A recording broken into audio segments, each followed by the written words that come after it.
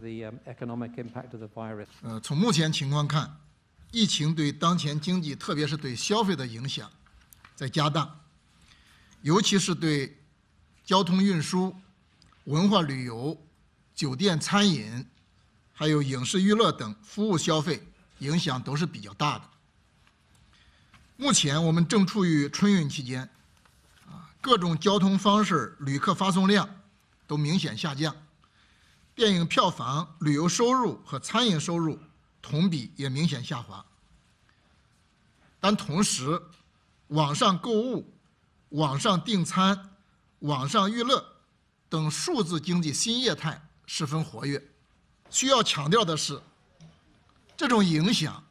是阶段性的、暂时性的，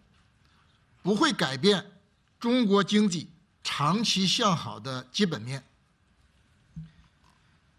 那么不少人呢拿二零零三年非典疫情对当时经济的影响，来推算此次疫情的影响。但现阶段，我国的经济实力、物质基础和应对突发事件的能力，都是比当时那个时间明显增强的。我们完全有能力。有信心打赢